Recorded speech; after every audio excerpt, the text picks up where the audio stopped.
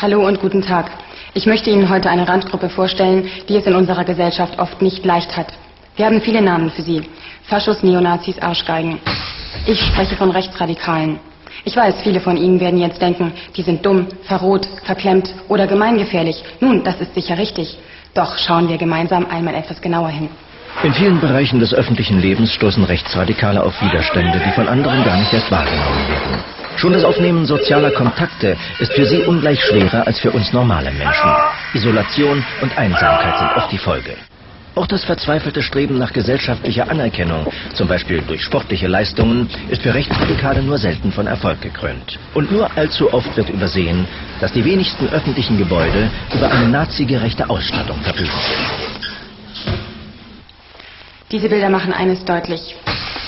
Rechtsradikale brauchen unser Verständnis und unsere Hilfe. Zum Beispiel durch soziale Projekte, die sie ermutigen, sich wieder als vollwertige Mitglieder unserer Gesellschaft zu fühlen. Na, Herr Hitler,